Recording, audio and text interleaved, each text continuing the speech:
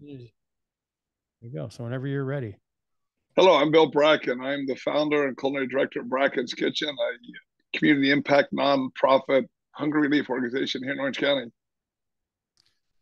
Bill and I met. Uh, thanks, Bill. It's great to great to have you. I there are some people in my life when I just don't remember not knowing them, and I know we didn't meet that long ago, but I've known who you are for a long time. I think where you came onto my radar in person was last year when you were honored through through the Passkeys Foundation, uh, and you gave just an amazing, uh, I'll call it a speech for lack of a better term, but you talked about Bracken's Kitchen and your mission and what you do. So I'm going to just tell our audience a little bit about you and what you do. Bracken's Kitchen is a 501c3 organization based here in Orange County, California, founded in 2013.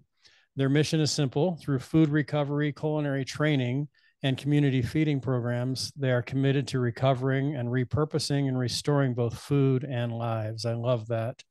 I watched a video in my in my stocking, or I'll call preparing for this interview. I watched a little YouTube video where you took us on a tour, and I love where how you talk about we nourish people, we don't feed them. Tell me what the difference is to you on that. Well, you know, um, somewhere along the line, uh, someone, one of our volunteers in the early days said that we're delivering hope one tasty meal at a time. And we learned a long time ago that um, food is just a conduit that we've been given to reach people. Obviously, we feed people, it's what we do. There's so much hunger in Orange County and all over America. But if people are struggling to put a meal on the table, you can be uh, darn sure that they're struggling in so many other areas. So from the very beginning, uh, when I knew I was being called to feed people, we set out to do it differently to truly to uh, spend time with them, not just hand out a meal, good luck, bye bye, brown bag with a peanut butter and jelly sandwich, but to come out with a food truck to feed them, to put on an event. Uh, you know, we always insist if we were out with the food truck, there's tables and chairs to set up, that there's music playing and a good meal. And let them escape life, even for just an hour, to really nourish their body, their soul, and to give them a little bit of hope for something better tomorrow. How do people find you, and how do you find them? I'm not end of the end of the interview. We'll talk about what's your social and how do people reach yeah, you and get yeah. involved, and we'll, we'll we'll do that. We'll we'll table that, you know, pun okay. intended. But how do people find Bracken's Kitchen and what you do, and how do you find them? Well, um, you know, we early on when we started Bracken's Kitchen, I didn't have much of a budget. I was unemployed at the time, and I was, you know, funding this myself. And what we did have was social media, and um, we worked really hard to pour into that just to raise awareness. And you know, like you said, we'd been on, uh, like you'd been on my radar screen for a long time. You'd heard about us, so um, you know, uh, we have a lot of agency partners that we work with. There are 45 right now that get meals from us that we connect with uh, go out with with the food truck and feed still. And they are really our conduit um, to feeding people. From the very beginning, I knew I didn't want to have to go out looking for people who are hungry. I didn't ever want to have to qualify a person's needs. So we just came alongside other well-known nonprofits who are already uh, providing a multitude of services, food just not being one of them. And it's just truly been kind of our our way of reaching out to community. We just started a culinary training program, and we work with all these agency partners that help help us with our students. So it really is through um, the village that it takes, as we know. Now, not to age you because you put this in your bio or whoever wrote your bio did, but I'm just going to use the number because it's out there. 35 year career in the luxury hospitality industry. So, how did you? In the, I'm curious. I'm sure that over the knowing you the way I'm getting to know you, I'm sure that the idea, even though you launched in 2013, probably hit you in the 90s or probably hit you in the early 2000s. Like like most good efforts, the idea was there for a while. When did this go from an idea to now fast forward to 2013 and it's a reality?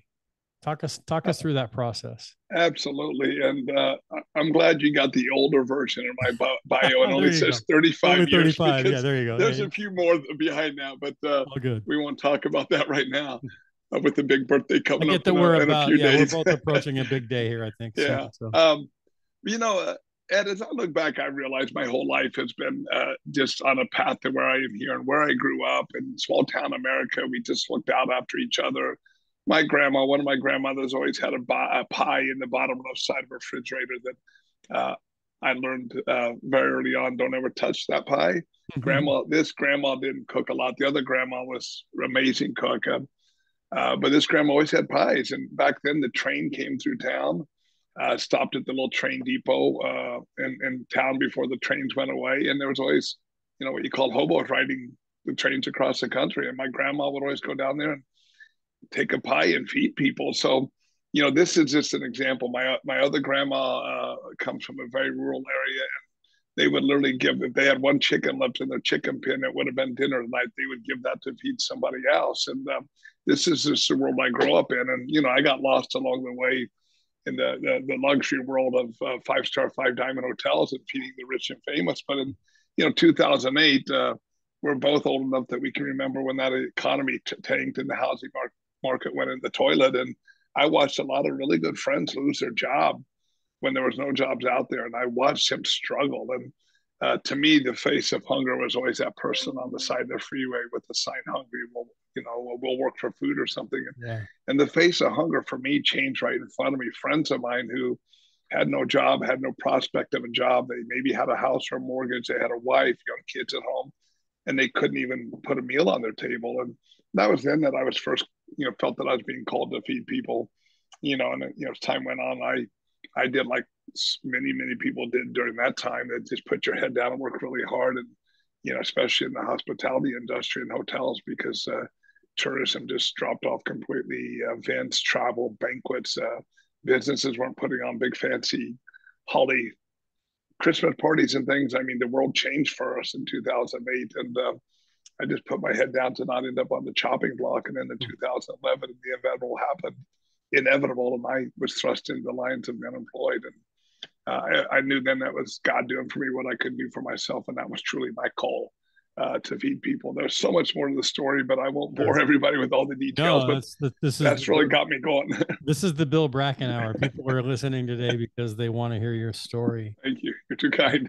What do you love? Let me let me first. Let's we'll get into Bracken's kitchen here in a second on the same question, but as a chef, what is it about being a chef? I've read that, and you even just said it. You felt called to it. What I I, I watch all the cooking channels. I love Guy Fieri. I'm fascinated by restaurants and by what you do. I have no talent for it whatsoever. Just like music, I love music, but I can't. I can sing a little, but I can't play an instrument. Um, what is it about being a chef that you love so much? Well, you know, I don't know apart, that I can. Apart from what you're doing at Bracken's Kitchen, we'll go there. Well, no, I got you, your, but I, yeah, just your talent. I, am gonna I'm gonna clarify it for a minute because um, I learned a long time ago that there's a lot of really really amazing cooks out there that, but they don't all become great chefs because being a chef is so much more than cooking. It is running a, a kitchen, running mm-hmm. running a brigade. So I don't know that I ever loved being a chef because that's, that's running a business. Yeah, but the cooking part of it, um, you know, I I stumbled into cooking at home when I was. Um, I don't know, 10 years old, and mom had went back to work. I was the youngest of four kids. Dad worked, and uh, I just I started cooking to feed myself because I was hungry. I was mm-hmm. home, and you know my my greatest joy as I got a little bit older will will probably shock you, but because I mean we grew up with a garden where we grew all of our own produce and it was canned or frozen and put in a root cellar. People don't know what root cellars are in California, but you know, grandma had right? the underground cellar. Yeah. yeah. So, you know, the potatoes and the apples and the hard vegetables went into the root cellar underground for the winter. Dad worked in a meat packing plant. So everything at home was all made from scratch, home cooked. And um, you know, when I got a little older, I could drive my bike around town um, in the summer, especially. I'd pick up pop bottles, affectionately known as soda bottles in California, yeah, glass yeah. bottles, and uh, we didn't recycle them back then. They turned them in for five cents, and I believe they cleaned them, sterilized them, and reused them back in the day. But five soda bottles or pop bottles would give me a quarter. The quarter I can go to the local grocery store and I can buy a can of Chef Boyardee. Spaghettios because we never had those at home. And so that was almost how I started cooking. And I could buy a TV dinner for 30 cents and pop it in the oven or the, even before microwaves. And uh, because again, that was something we never had at home. And some of my friends always had those convenience foods. And, you know, that I graduated into cooking and, and everything. And along the way, I learned that not only did I have a talent for it and a skill for it, but I actually really enjoyed it. And, you know, um, cooking, if you truly are a an artist of the trade, if you will. It is it's an art form, and it's a way to express yourself um, on a plate with food. And um, I mean, we all share the two most basic human needs for survival the need to breathe and need to eat. And at Bracken's Kitchen, we say the problem is air is free and food is not.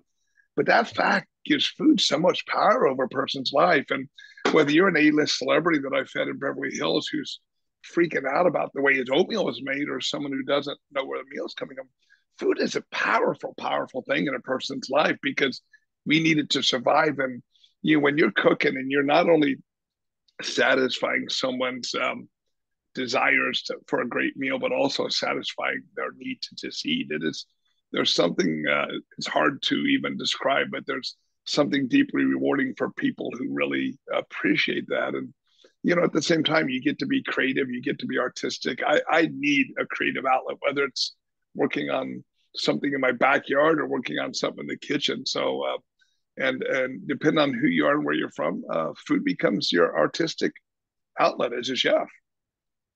Are you the one that cooks at home? Uh, not much anymore, believe it or not.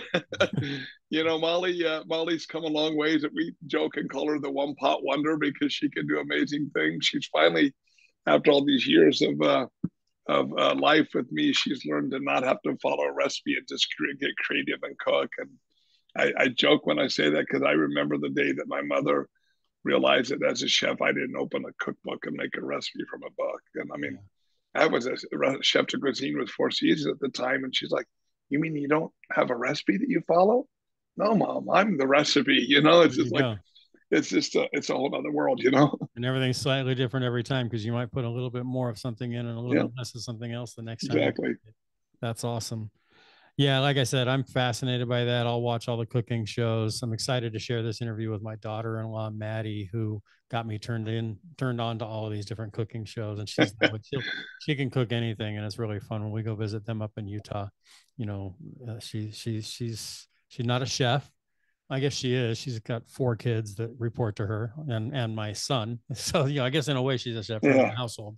But yeah, you ever watch Hell's Kitchen? A little bit, yeah, yeah. I, that was the world I grew up in. yeah, nice. I love it's, it. It's a whole other world, that's for sure. So yeah, that's awesome. Do you have any? Do you have uh, those celebrity chefs, if you will, or any that you look up to that you, you know, that's kind of the guru in your industry that you you admire or learn from? You know, years ago, uh, I loved Dean Fearing, still do. I don't know that he would call me his friend anymore. I haven't seen him for so many years, but he's famous in Texas, Southwestern cuisine, and you know, I have uh, countless over here on the side that you can see behind. I got countless cookbooks, and for years, I bought the latest chef's cookbook, and I never, ever, ever looked at a recipe, only pictures because I needed creative ideas.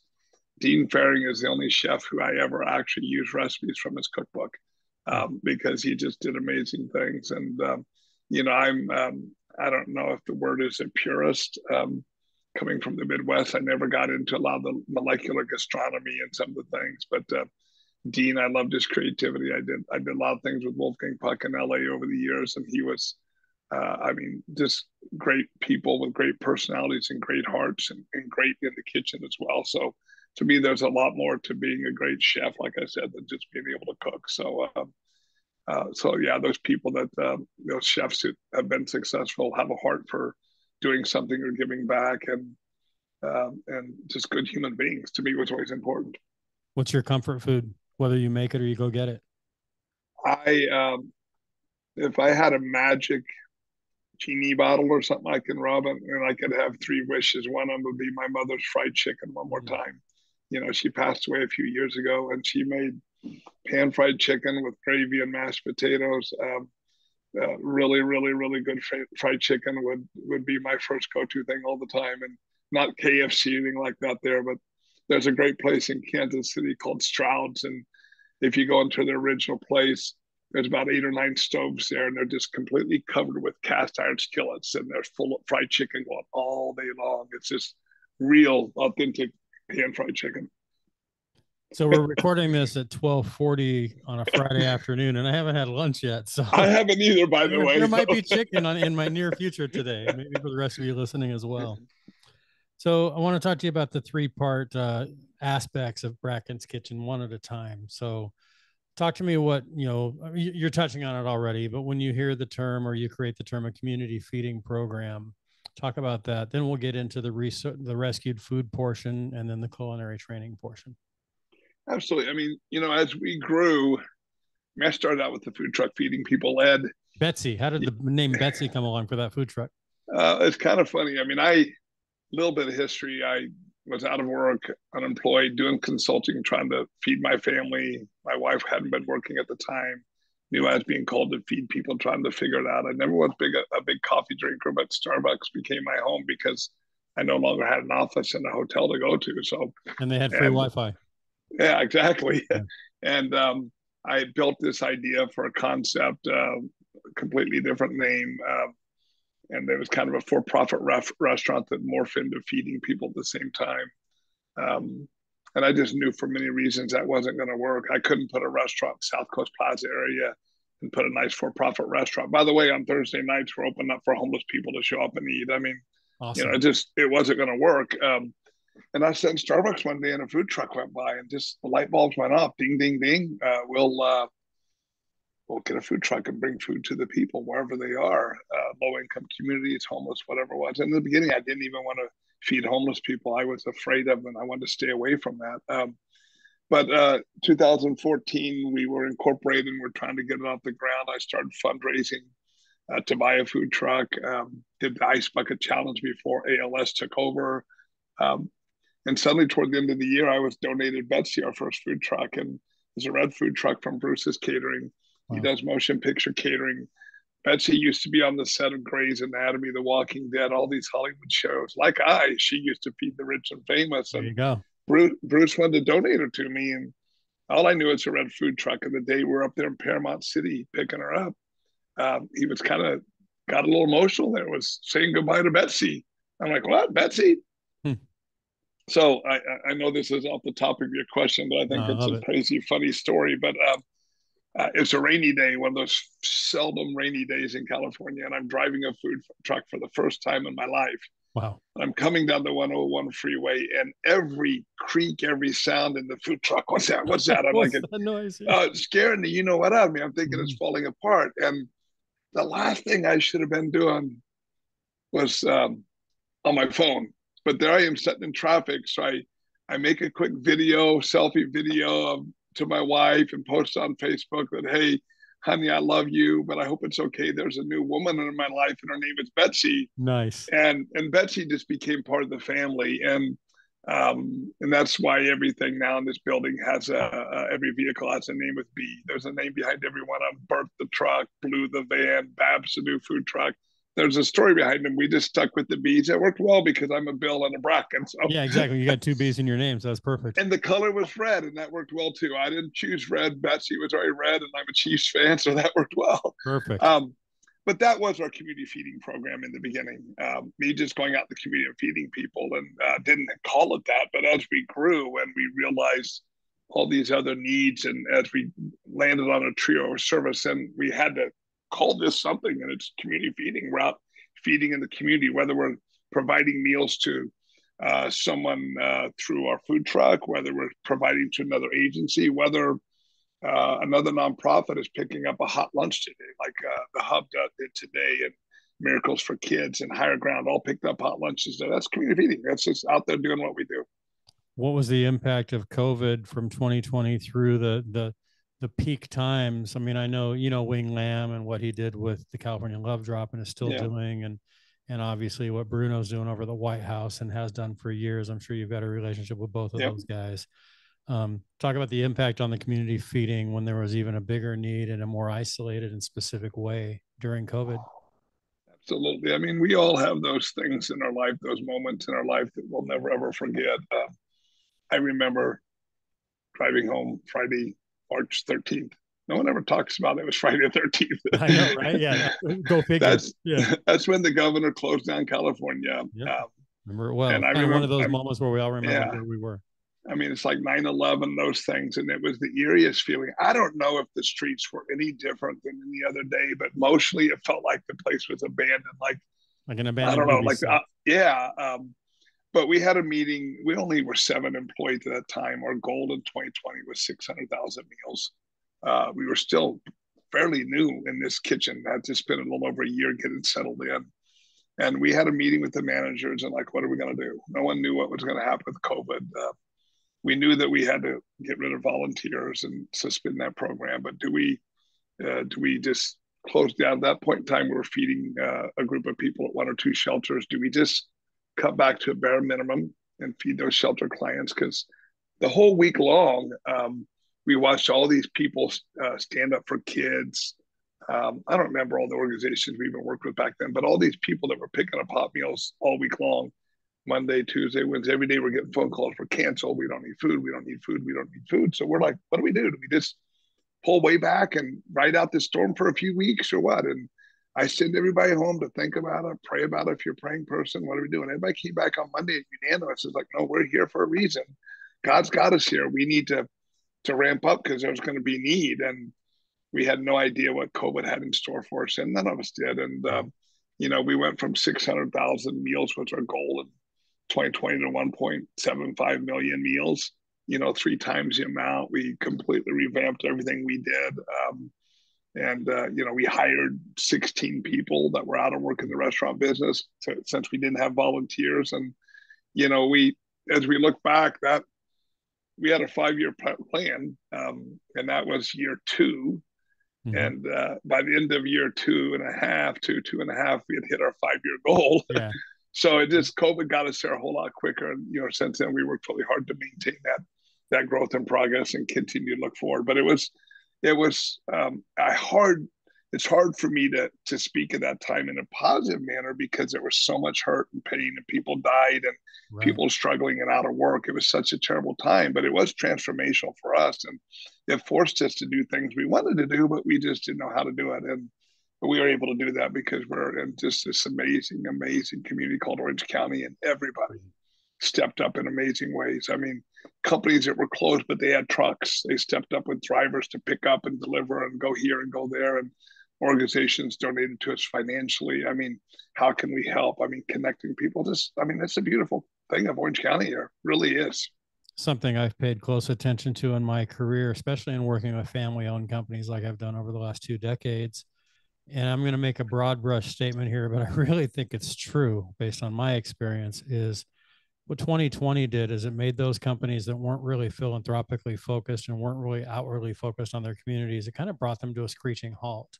And many yeah. shut down because they just didn't know where to go.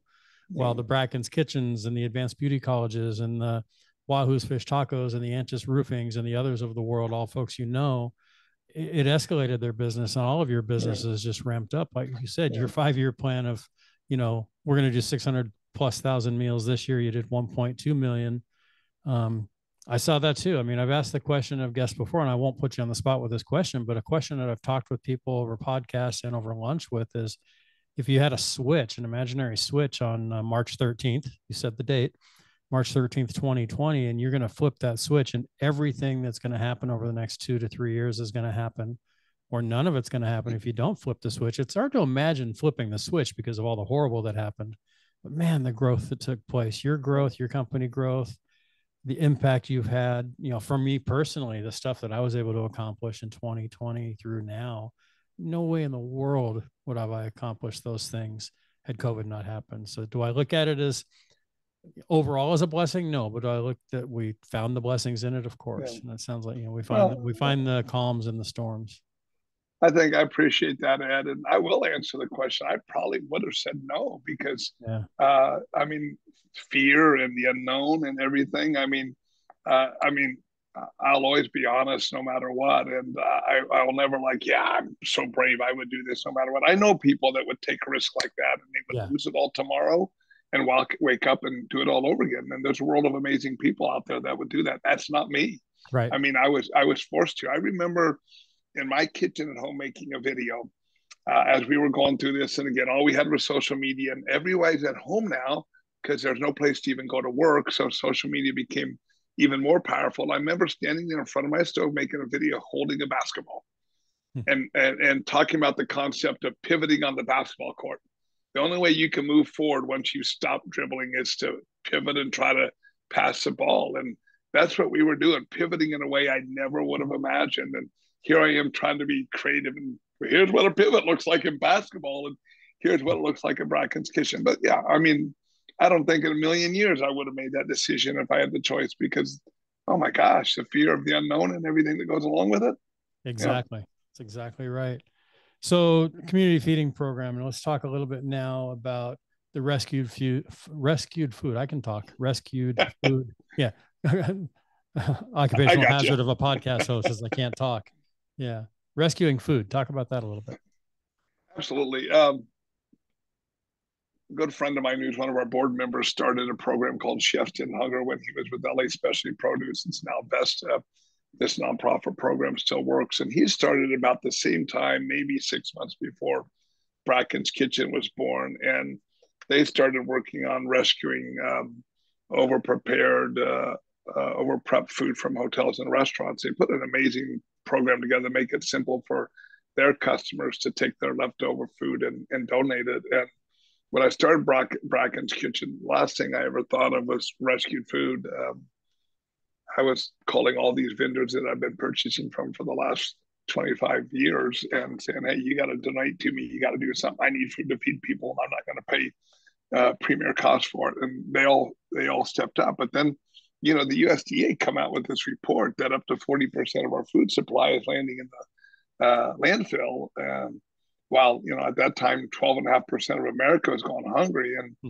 I, I, I, this became a kind of a mantra, a speech of mine for a long time when we get it, got into this, and I would tell the statistics, and I'd I'd tell people, guys, I'm I'm not a mathematician, I'm not the smartest guy even on this podcast, Ed, but but I know if we're uh, I know if we're um, using 60 to 65 percent of our food supply to feed 88 percent of America, just think what we can do with the other uh, 12% of the population is hungry if we just stop throwing away 35% of the food. So I was really kind of forced into this world of rescued food, and um, we embraced it early on. It was nothing but uh, rescued food from the Chefs in Hunger program, leftovers from hotels and restaurants. And I was blessed to have a great relationship with the people and still do at Vesta. And I said, guys, if you give me rescued leftover food, I want it from the Hotel Bel Air. I want it from Wolfgang Puck. I want it from Terranea Resort. I want because they knew where it was coming from. I only want the best rescued food I could get. Right. I mean, come on, I'm a five star, five diamond chef. So hmm. don't give me the leftover sandwiches from some sandwich shop down the road. Um, and every Tuesday was uh, was uh, Chefs in Hunger Day at the kitchen back when we had a shared kitchen. And our, our chief operating officer, Kat Richards, was a volunteer at the time. George is still a volunteer. Sylvia, they they were all my volunteers on Tuesday, and we went through cases and all these pans and opened it up, and everybody was like, "It's like the biggest episode of Chopped." Then it's like their kid in candy store. What's in this pan? What's in that pan? And you'd open up, and it's it's all leftover lobster from a banquet. I mean, I remember one time we got like six cases of all leftover lamb chops.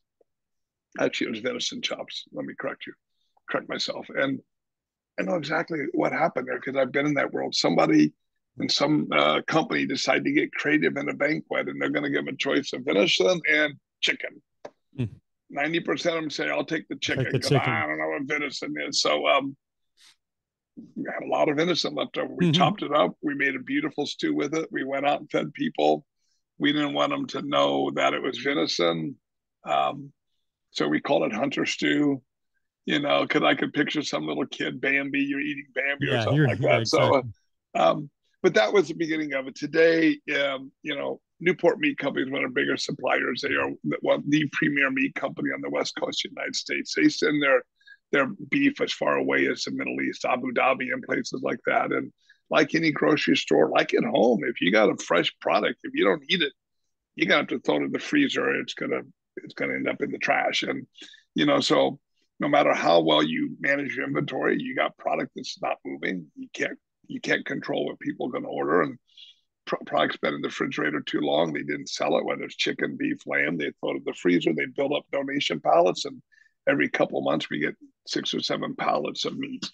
And wow. I mean, I have one huge bone-in Kobe strip loin from Snake River Farms that it's now just a sample. We'll never cut it up and use it, but it's a sample of this this piece of meat that would have sold for 35 40 dollars a pound didn't get sold um, and i you know it's it's it's it's our rescued food program has really been transformative for us because we went from leftover cooked food and uh, from hotels and restaurants to large volume product. We just picked up 1,200 pounds of uh, fully cooked sliced turkey from a local school district. They'll remain nameless, so no one will be complaining. But someone obviously, obviously ordered way too much turkey for the school, and summer summer's here now, and they can't use it. So right. we picked it up, and we'll we'll make sandwiches with it. We'll throw it into turkey pot pie and do amazing things. So it really has just changed drastically. And and I will say this, Ed. Um, uh, you know, I'm. Um,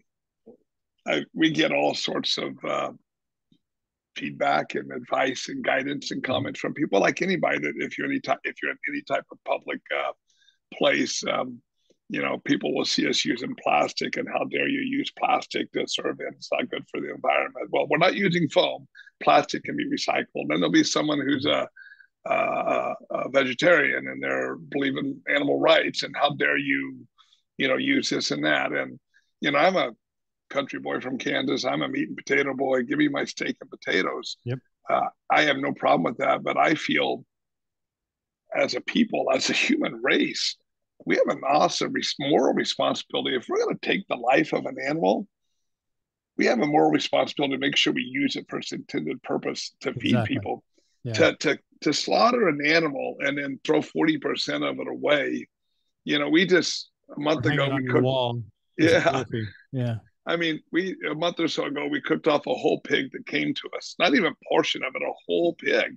We cooked it in a smoker and we pulled all the meat off of it and used some of it for some meals and we fed our staff with it and had a little bit of fun. But here's a, a pig that was yeah. slaughtered to feed people and to just throw it away. So the rescue food program is truly transformative, and we we have a res, as a responsibility, I think, as human beings to to not throw so much food away when so many people are hungry, especially. Oh, I look at just what what's wasted in in just the homes. You know, I mean, not admitting anything here, but how often do we buy meat or or or veggies or fruit and we don't end up using it because maybe we went we went out more or we just for what happens reason, to us too. All of us, it's happened. Well, yeah. I've thrown yeah. away more vegetables than I've eaten, and that's a sign of that I don't eat a lot of vegetables. but I definitely probably thrown away more veggies than I've eaten. Well, me too, but my wife buys a lot more too than she probably should. And it's usually the zucchini or the cucumber at the bottom of the tray that you didn't know was down there, and you get down. Oh, oh how long oh, has it's been there? there? That's what that smell is, right? Awesome. So the third leg of the stool between so you got the community feeding program. We've talked a lot about the rescued food program. I love what you're doing in culinary training. In that video that I watched on YouTube last night in prep for this, among other things that I did, um, there was a gentleman in the video. I don't know when you shot the video, but um, that was there being trained for a, a, a profession in the culinary mm-hmm. arts. Um, talk about the culinary training aspect of the business or of, of the well, um, organization. If you'll allow me, I'm going to tell you a little God story that led led to this, if I Please. may. Um, um, it was 2015. It was me and Betsy feeding, going out every Tuesday night to Ross Street House. Um, I wasn't even making a salary at Bracken's Kitchen because I never thought this was going to be my full time thing. But that's a story for another time. Um, and I was in a I was in a dark place in my life. I mean, uh, I was I cooked for Sylvester Stallone and Tom Cruise and presidents and movie stars. Hulk Hogan used to call me every time he came to town at the peninsula. I had his cell number and one day, hey brother, I'm coming to town, man. I need four whole chickens for dinner. To, I mean, nice. you know Hulk Hogan, man. Yeah, there you go, Hulkamaniacs. uh, but I mean, I this is was my life, and here I am out feeding homeless and low income population in Santa Ana and, and the likes. And my wife was uh, became the sole breadwinner. Financially, we were really struggling, and it was just really hard for me. And I was in a really bad spot. And did I just blow up my career because there'd been a year and a half of this? And while I've been doing some consulting on the side, I I left that world. And did I make a mistake? And what's what's where, where am I at? I mean, I was in a really bad spot, and I got called or tasked to uh, help out with Stand Down Orange County, which was a big event for homeless veterans, and uh, due to politics involved and things like that, there are a lot of uh, agencies that were going to be part of it pulled out, and suddenly me coordinating the food service, it became me providing the food service. So for two, three weeks, I don't remember exactly now, I suspended our food truck feeding program at Bracken's Kitchen so I could focus full time on feeding a thousand military veterans breakfast, lunch, and dinner for three days at the uh, old blimp hangars at the old uh, uh, Tustin Marine Base. Sure. And as I was gone and not feeding everything, I just I spent a lot of time praying, God, I, I need to know, am, am I where I'm supposed to be? Am I in the right place? I mean, the, I mean, I started thinking about all these kids that I knew at Ross Street House. They all called me Uncle Bill. I always joke I'm the only wedo white boy uncle they'll ever know. Um, right.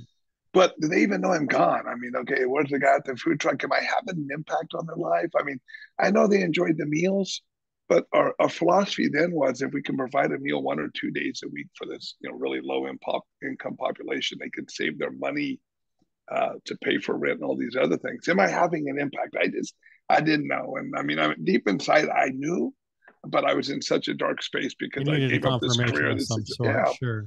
Um, so I just prayed over and over again, God, please tell me, show me. Uh, when I come back to Ross Street, I need to know something. So Tuesday, every Tuesday we went there. And Ross Street, the house was a half a mile north of the Civic Center in Santa Ana, where at that point in time, 470 homeless people were living in the court of the flags. I'm sure you remember that period. Yeah. Um, but um, I pulled in the Ross Street house in the old food truck, noisy old thing. Uh, you remember the one squeaking down the freeway yeah, I talked about earlier. Yeah. and I, as I, you know, put it in neutral and went to back into my spot, I can. The kids were all over there having their afternoon snack, um, and they're making a lot of noise. But they always make a lot of noise. But it seemed different. I backed Betsy up. I backed in the spot, and it just got louder and louder. Um, hmm. and I put Betsy in park, and I uh, turned off the engine, and then I, I heard what was going on. There were 45 Hispanic kids over there chanting Uncle Bill, Uncle Bill, Uncle Bill. And uh, I was just like, oh my God. I mean, I needed a sign. I didn't even get out of the truck yet. God, give me, yeah. you know, give me a break here. I started crying and I'm like, okay, thank you, God. Um, I composed myself. I got out. I went over there and they all got up and they were around me. And I felt like Kobe Bryant downtown LA after winning the national the title. And mm. all 45 of them chanting and jumping up and down around me, calling me Uncle Bill. And I looked over there and Paloma and Rose, who were two of the teachers, were sitting there crying. I heard one of them say, I wish I had this on video. And I mean, that was all the confirmation I needed that I'm right where I'm at. Emotionally, I was okay. It didn't make life any easier. We were still struggling financially for a long time. You know, how are we going to keep our house and pay my own mortgage and make sure my kids aren't in the line getting a free meal? Um, but later that night, um, I stood out there.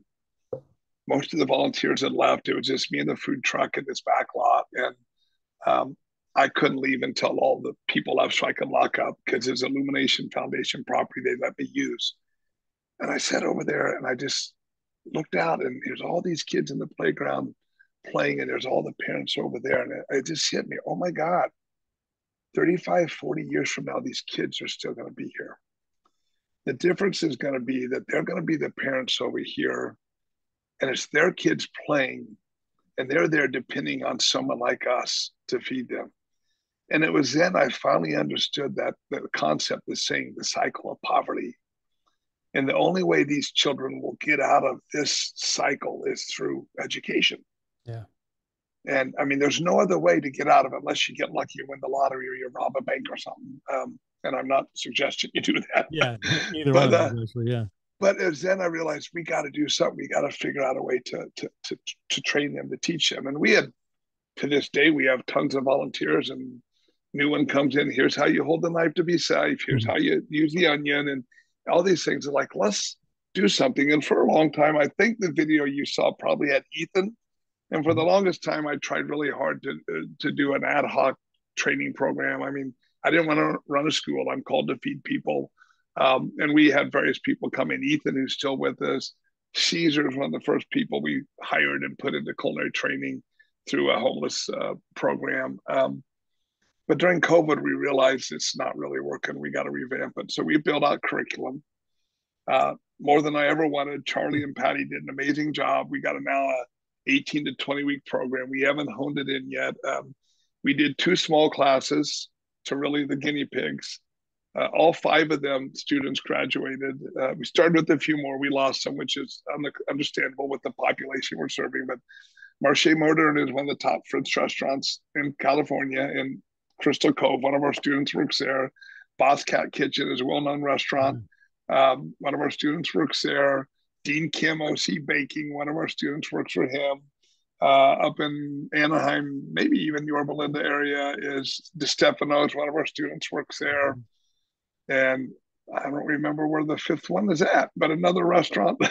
Uh, one of them worked at Vaca for a while. So uh, it, it's working. So now we just started on Monday this week our, our two new classes, a full class um, of 16 students, one group on Mondays and Wednesdays, one Tuesdays and Thursdays. And, uh, you know, one of the ironies of it, this class, uh, Ed, is one of the students that we accepted in the program, he walked down the hallway and he saw pictures of us in the food truck. He said, that's my cousin. Oh my God, you're the people that used to come feed us six or seven years ago at Ross Street House.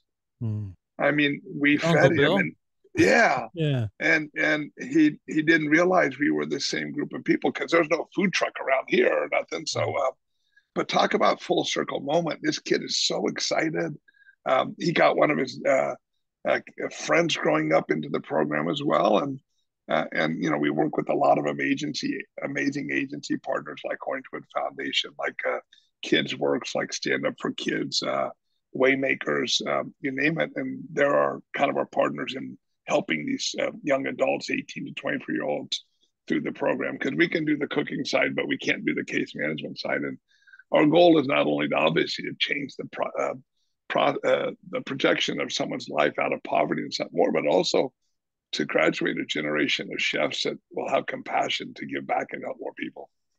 Well, and not many people get to see, pun, pun intended here, the fruits of their labors you know your efforts are certainly you know you, you know when you leave and there's people sitting on park benches or school tables eating that you've made a dif- difference because you're seeing it with your eyes right there but to see these kids that might have been the ones that are being fed and now they're being educated and now they're they have jobs because of what you're doing that that's that's pretty special i I applaud you and anybody like you who's who's making that impact it's a lasting impact. And, yeah, I keep hearing the phrase over and over. You know, you teach a, you give a man a fish, you feed him for a day, you teach him to fish, you feed him for a lifetime, and it sounds like that is a driving force behind what you're doing. Is really teaching these people how to take care of themselves, not just feeding them each day.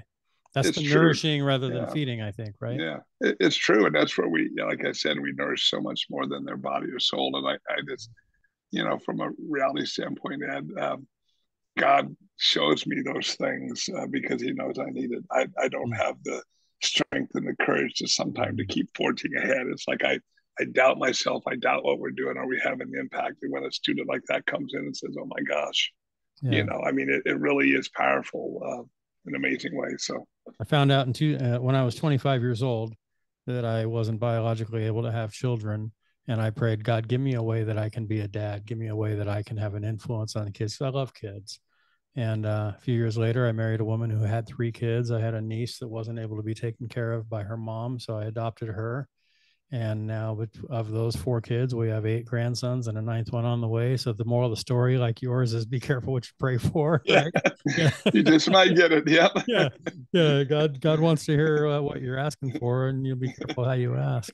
So as you launch Bracken's Kitchen back in 2013, 14, um, for those that are listening or watching, uh, when we put this podcast up, there may be somebody who has that that deep burning desire to start something, whether it's a company or a nonprofit, or they have this cause in their heart that they need to do something about. What advice? Two part question. I always tell myself I'm not going to ask two part questions, but I'm here. I am doing it again. What advice would you give to those that were where you were in 2013? That's part one. Part two, what challenges did you face that you didn't expect to face, and how did you overcome those? Oh, I don't. Um, I think the best advice I can ever give people is encouragement, uh, because you know, uh, you know, the the worst advice ever given is that which isn't asked for it. Yeah, exactly. So while while you asked for it, no one listening necessarily asked for it. Um, I um, I, I try to not um, press my faith too much. I never want to offend somebody or drive them away. But I often say I'm a modern day Jonah story. If you know the story of Jonah in the Bible ending up in a big fish, um, um, I knew God was calling me to this, and I ran the other way. I'm, I'm not that brave guy. I mean, uh, the most courageous people in the world are the ones who fear their fear and they face it anyhow. Because courage isn't without fear; it's facing it and stand up to it. Um, and I didn't always do that. It's like I knew I'm I'm being called to go this way, and I went the other way. And God just had a way of directing me, and I I, I think thank Him every day that He um, brought me to where I am today because I never dreamed it could life could be this good.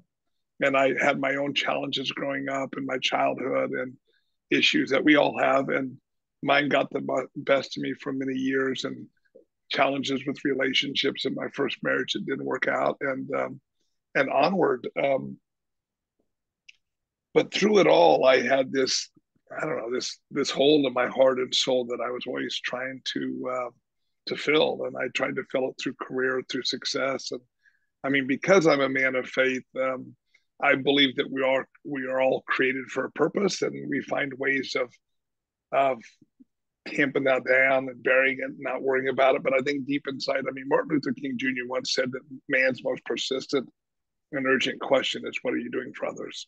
Yeah. And and I, I think we all have that inside in some way. And I, for years, buried mine. I'm facing or chasing fame and fortune, success, diamonds and stars and movie stars and celebrities and cooking in Hawaii and Hong Kong. I've tried everything I can to tamp this down. But I can tell you today, Ed, that Bracken's Kitchen has done more for me than anyone we've ever served and helped. I have been changed at a soul level through the work we do. I mean, I remember on my hands and knees on a dirty street corner in Santa Ana with a rusty old truck beside me, crying out to God, Why have you brought me here from Beverly Hills to here? And I wouldn't give that up for anything in the world. It was hard going through it, but just the change internally from the inside out. I mean, I mean, the best things in life require a whole lot of work and effort. That's just the fact. Yeah. Nothing good comes easy. And but it's just I, I don't even know how to describe it. It's the inner peace I have that I get up every day and I'm going to work doing something that really, really matters. Cooking matters. I made fancy foie gras and caviar and people ate, but there's a whole different level of matter here. And um, knowing that that I'm doing sorry about that that's Knowing right. that I do something that really matters has changed me. So that's the best encouragement I can give people. I know that this was never going to be Bracken's Kitchen. I didn't want that name on it. This mm-hmm. wasn't about me. Uh, Judy Walker, a dear friend of mine who died a few years of cancer, insisted I put my name on it because of my success as a chef in my past life. And I never wanted that. But I now am so grateful that we did that, not for my name to be out there, but there's so many people who knew me in my past life of feeding celebrities and movie stars. And now what are you doing? And it is somehow a, a motivation. Hey, if Bill can find something mm-hmm. more important, meaningful, impactful to do with his life, maybe I can too. So if you're struggling with that, if you're wondering if there isn't something more, then there probably is. And if you're looking for the courage and and the, the whatever it takes to get there just know that when you get there it'll be so much better for you than it ever was before so that's my encouragement the first question you're gonna have to repeat the second one well just challenge the, the challenges, challenges. who who might have been there as a mentor if there's anybody you want to name or obviously your faith that goes without saying it goes with saying i love it because i too you know my faith has gotten me through everything to this point uh, are there are there mentors or those out there that you'd like to talk about that helped you through, or maybe specific challenges that that either you saw coming or you didn't see coming at all and you had to overcome? Um, I could talk all day, so I'll try to say a couple important things that might help someone and be meaningful and, and not go too long. But um, you know, I I'm I'm the typical Midwestern guy. My dad was a pull himself up by his bootstraps kind of guy. I'm the guy that could be lost for hours and never ask for directions because men don't ask for directions. There you go. Thank God for smartphones now that we never have to. Yeah, Waze is um, the best thing for me. Yeah. yeah. But truly, just pulling myself up by my bootstraps is uh, the, the strongest lesson I learned from my father. So I always somehow learned to just not give up and keep fighting because there's been constant, constant challenges. But when I dove in the nonprofit world, I'm like, I know nothing about running a nonprofit. I know how to run a $12 million food and beverage operation at a five star hotel, but nothing about. So I had to just reach out to people and find um, um, accountability accountability partners or mentors and advisors and people that I could uh, uh, learn from. And I've never been one that's been really good at let's go have coffee and let me ask you and pick your brain. Um, but I've always been really good at watching and reading and paying attention. Um, I spent two and a half years at the Orange County Rescue Mission. I watched what Jim Palmer did and the way he did it. Mean, the people there that I'm like, yeah, I mean, this is where you learn from. So a lot of people, nonprofit, I visited a lot of other nonprofits and volunteered here and there. It's like, okay, I don't know what I'm doing uh, on the nonprofit side. So let me watch people. Uh, obviously, God has uh, uh, been a big part of that. We talk about mentors, but honestly, my wife, I remember um, early on, we did one feeding for Bracken's Kitchen. And it happened at the Orange County Rescue Mission before we had Betsy, or just as we was getting Betsy. I cooked all this food because I was renting kitchen space there. Um, loaded in warmers in the back of my Ford truck and drove to Anaheim to Voice of the Refugee. And I did a holiday Christmas dinner, if you will, for 300 Middle Eastern refugees who don't celebrate Christmas. So it was certainly a unique situation. Um, but then a short time later, um, I was asked to leave the kitchen at the rescue mission, not volunteering, but Bracken's kitchen because they brought a new COO in. A lot of people use a kitchen there. A lot of people. There was not a lot of organization there. So it wasn't, it was a bad thing for me, but it wasn't a bad thing that they did. I want to clarify that. So sure. it's like, who are all these people using our kitchen over the years? Time to tighten the reins a little bit. I still came there and cooked every every week volunteering, but no longer. So and here I am with the food truck. Yeah. And I no longer have a kitchen to do preparation. And I remember just being this distraught beside myself. And I remember Molly said to me, "He's like, really? You got one small roadblock and now you're ready to quit. What's wrong with you? I love you that. know, and and and she's not that tough love kind of person at all, but I remember that moment and uh, and uh, for the next six months, Betsy was parked parallel in our driveway. Hmm. So she went at an angle and a slight angle, and she was plugged into her house, and I was cooking in Betsy, doing everything, start and finish, washing pots and pans in my driveway in the small sink in the garage, anything at the end of the night, and going out and that was my life for six months before I found the kitchen. So, and there was countless roadblocks like that there. And, you know, so again, my dad was just that um, quiet mentor. I watched people, I learned.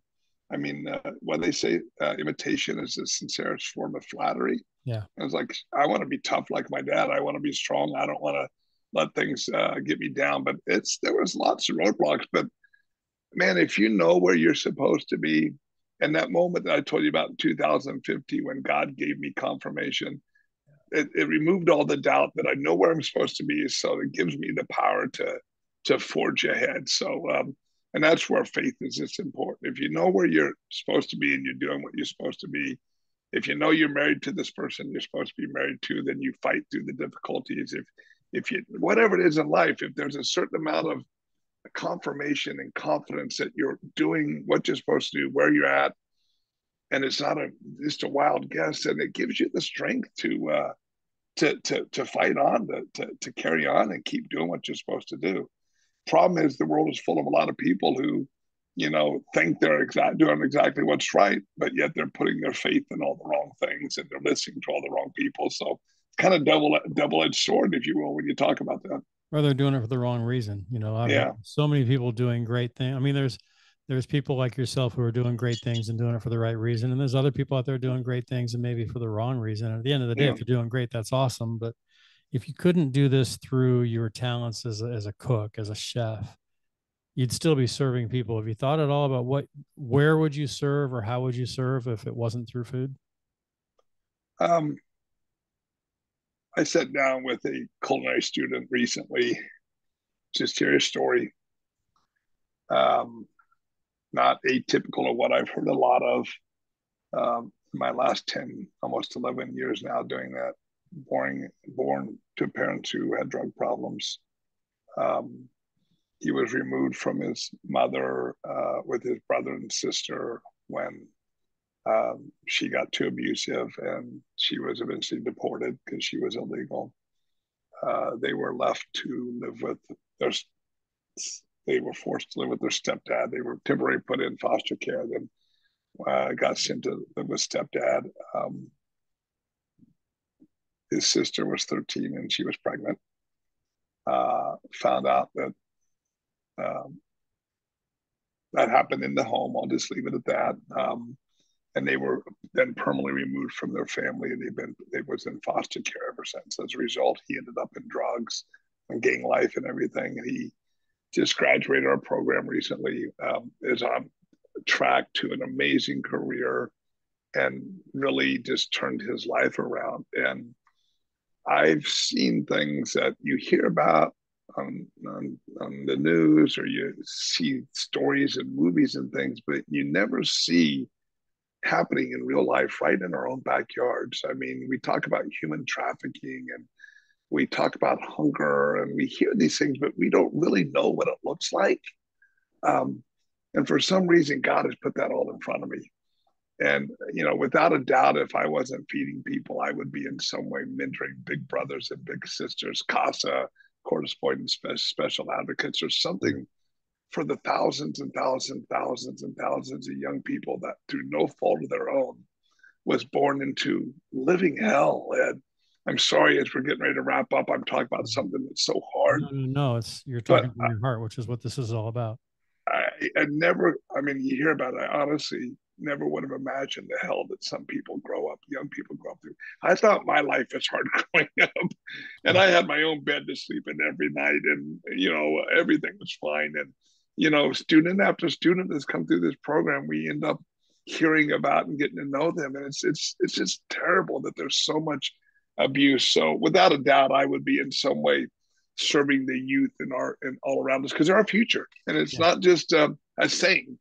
You know, they will someday grow up to be leaders. And the question is, what kind of leaders are they going to be? And can I have an impact on that? Well, and oftentimes we just need to see someone who has things a little bit less fortunate than we do. Just silly story, but my wife and I last week we were down in Huntington Beach and we have these electronic bikes that we love and we it's nice because you can pedal and get the workout, but you can also just put it on yeah. EV if you want and, and yeah. coast for a little while. And we were at the end of our fifth straight day, I think, of riding, you know, 15 plus miles. And no, nothing huge, but yeah. You know, I'm, I'm, i can see the pier in the distance, which is sort of my finish line because we're going to grab a bite to eat there. And I'm at the point where I'm at my wall and my legs are hurting and I just don't feel like pedaling anymore. So I just decided to put it on one and just hit the little throttle thing and cruise on the electric power of the bike because my legs were killing me. And then I looked over and I saw a guy coming my direction in a wheelchair with no legs, pushing and faster in his wheelchair with just his, his hands than I'm going oh. on my bike. And right away it hit me what he would give to have the leg pain that I have right now yeah. put it back to zero and I pedaled the rest of the way. It's and that story's not about me at all. It's just about perspective, you know, and when we, well, you know, we see people who don't have it as good as we do, we can A, be very grateful and then B, do nothing about it, or we can A, be very grateful and C, do something about it as well. And that's I, I, I, truly appreciate that story, Ed. And, and it, it's not even a little story. I, unfortunately, in the world we live in today, especially, it's so easy to go through life like this here and just worry about ourselves and all of our own problems. I mean, I posted something on social media the other day that I saw and copied that, and it says, the weekend coming like this or something, and it's a bullet train that just went right by. And I mean, that's my life. I, I you joked earlier about my age. I turned 60 in three weeks, and I never imagined that I would be this busy as I'm turning 60 but I wouldn't trade it for anything in the world because my blinders are off for a long time. And mm-hmm. I know that no matter where I am and know how no matter how bad it is, all I have to do is look to my left or my right, and I will see somebody who has it so much worse than me. And that's been truly been my guiding star for keeping myself straight when it comes to emotions on my wall over there is a, a paragraph that Chuck Swindoll, pastor, wrote years ago. It's about attitude. Love the it. last part of it is I'm convinced that life is 10% what happens to me and 90% how I respond to it. Yep. we're all in charge of our attitudes because man, it could be so much worse. So I, if there's nothing more that I can leave people with in the world is like, dude, it could be so much worse. Be grateful for what you got, where you're at, and just truly make the most of it. Yeah. Truly. EV free in Fullerton is where my parents raised me going to church, and Swindoll was our pastor. So, ah, yeah, um, he moved to Texas a few years ago, yeah, or many years ago now. Yeah, that quote. I like the story of you know you go to the doctor and and you're sick, and he gives you medication, and he says come back and see me in two weeks, and we'll see how the medication's working. And when you go back, he gives one of two responses. He says, "Oh, you're reacting to the medication." Well that's negative. I'm having a reaction. We need to try a different treatment a different medication do something different than what you're doing. If he says you're responding to the medication it means it's going well. Let's keep on this track. And we can react to the world around us and react to the, the poverty and the homelessness and and and so forth and and turn the other cheek or look away or be offended or i don't want to you, you mentioned earlier in this conversation you know about you know, it wasn't about feeding the homeless at first because that kind of scared you a little bit, but responding to it is now doing something about it. So I appreciate that you're you're responding to your heart and you're responding to the promptings that you've been given from God and just in your own in your own mind and your heart and your wife. You know, we both have wives that prompt us a lot. Really, you're gonna let that one thing be an obstacle? Come on, get over yourself.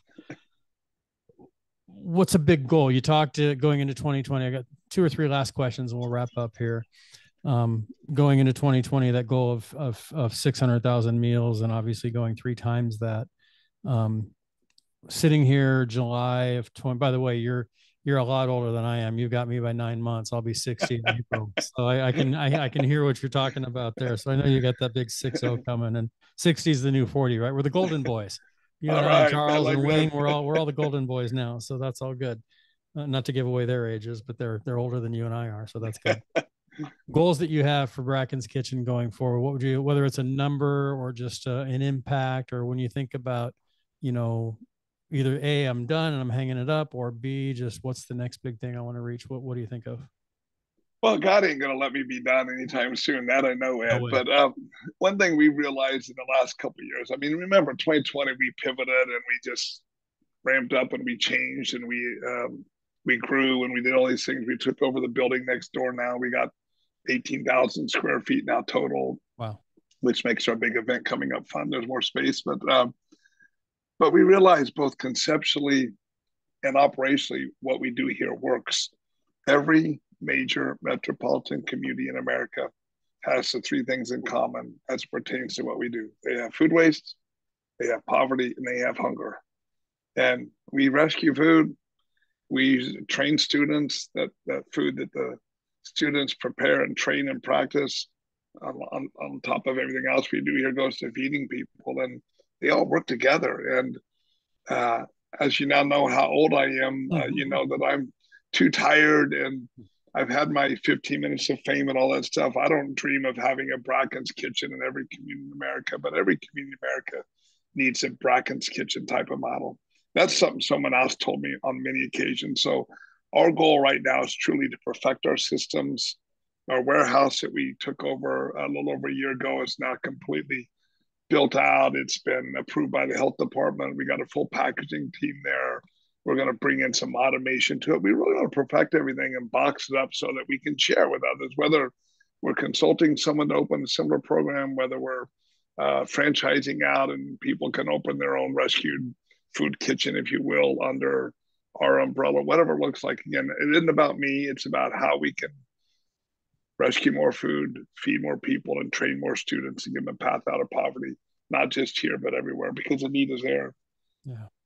How can people get in touch with you if they want to get involved? So two part. Um, here's my two part question. How do they reach you? You know, two of those, two two part yeah, questions. two two parters. you talked about social media. Best way for people to reach you um, if they just want to get involved or they want to find out where you're going to be and come and volunteer. I've seen on your social and I've talked to others I know personally who have gone into the kitchen there, and I'm still going to do my tour and come in. By the way, we got to get that scheduled. You're welcome anytime. How do they get involved? What what is involvement? The best kind of involvement is what, and then how can people reach you to do so? And then I'll ask you my final question.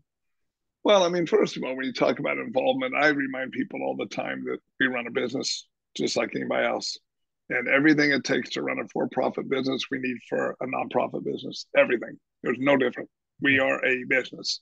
We happen to have to file things differently with the government. We have to manage our money differently. We have to impact the community in a positive way. That's what makes a nonprofit. So when it comes to people getting involved, you got a skill, we can put it to use. You know how to repair things? I'd rather get a volunteer to come out and jump on our roof and work on our refrigerator than pay a company. Um, so volunteering, whatever it is, obviously our website, like the world today, www.brackenskitchen.org. Go there. There's volunteer links. There's everything. Um, uh, you know, we talk a lot in the nonprofit world, as you know, time, talent, and treasure. Mm-hmm. I got some friends that actually give all of them supporters. Some I don't have a lot of time, but I have lots of treasure. I'll give you that. Others I don't have a lot of treasure, but I have some talent. I'll help you and guide you, advise you. And then again, some people just giving time, whatever it is, just to yeah. come out and peel onions all day. So it really, I used that word earlier, but it really does take a village. And um, I mean, we have anywhere from eight to 20 volunteers in the kitchen on any given day, on top of our now 30 employees. I mean, that's our goal this year 2 million meals, hmm. rescue 300,000 uh, uh, pounds, 300 tons of food, 600,000 pounds, I'm sorry, of food, diverting it from the landfill, and of course, training students. So, um, any way you want to get involved, you can. And even if you don't come here, even if it's just sharing on social media, you know, I'm going to mm-hmm. do, I, I don't do this often. I haven't done it in a few years, but I'm going to do a Facebook fundraiser for my birthday. I got 5,000 friends, give or take, on Facebook. If I just get a thousand of them which is give or take 20% to give $60 in honor of a 60th birthday, you know, for those who can. That's $60,000.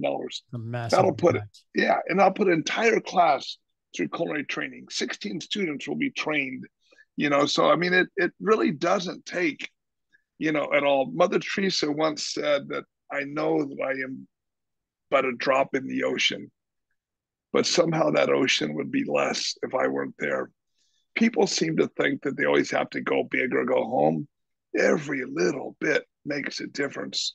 Every dollar donated, every hour volunteered, somebody likes a post on social, they share it, they comment on it, changes algorithms. Do what you can where you're at for whoever it is. I mean, you may not be able to do it all. You may be, may not be able to change the world, but you can have impact wherever you're at from your living room, just sharing a little love on social or whatever it is. So I just can't express that enough to people. You, I don't know if you watch my Monday Minutes, said, but it's every Monday I do a little thing, and I talked about that a few weeks about going going big or going home. I mean, do what you can, where you're at, with what you got, no matter what it is, and you will change, help change the world. Yeah, heard a story of a bunch of men trying to move a piano, and they were trying to figure out the best way to move the piano, and there were ten of them around it, and finally one person just said, "Stand where you are right now and lift." And the next thing I knew, they lifted the piano. So if we just yeah. are, are, where we are and we stand there and we lift, we'll make a big impact. So, as as you know, the name of the podcast is from the Hart. You've been staring at my name on the screen at Hart. You know, you, you know, we know each other a bit, so you know my last name. Podcast is called that for a couple of reasons. A, obviously, the last name. You know, I wouldn't it wouldn't be from the Hart if my last name was Smith, probably, but uh, oh, maybe it would from be. the Smith. from the Smith. There you go. But the main focus is really, you know, because you know I can I can look at your LinkedIn and follow you on social, which I do, and and know what you do. Uh, and you just spent the last hour answering this question anyway, but I'm going to give you one last chance to package it up and just answer this question. Bill Bracken, what's in your heart? I um, I'll get emotional here now. I have a deep, deep need to know that when I die, that it truly mattered that I lived. Not just for my wife or my kids, but for the world. That it truly matters that I've been on this earth, that I've made a difference in someone's life. And if more people could grasp that, because it matters that every one of us lives, we all matter, no matter who you are, where you're at, no matter what you're going through, no matter what obstacles you face, no matter what mountain you think you can't overcome, it matters that you live. And if we all can grasp that and make the most of the time that God gives us, this world would be so much better.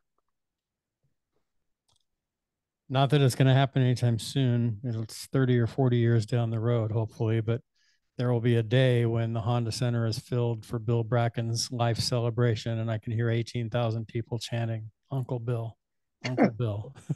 You're too kind. You got me emotional here now. Sorry. you're making a massive impact, brother. I'm uh, honored to know you, honored to be your friend. Look forward to saying yes to that invitation to your home for dinner as soon as I possibly can. And uh, just to give you a big hug. You're uh, in the short period of time I've known you, you've quickly become one of my favorites. And uh, this interview has been one of my favorites as well. I just I appreciate you sharing your heart and what you're doing and the impact that you're making. And um, I just God bless you for the man you are and the impact that you're making and the and the the uh, the people you're feeding, not just with food, but uh, with things much more important than food. So thank you. And trust me, the feeling is very mutual. It's been a true pleasure to get to know you and be here. Thank you for giving giving me this time. So barbecue soon, okay? 10 4.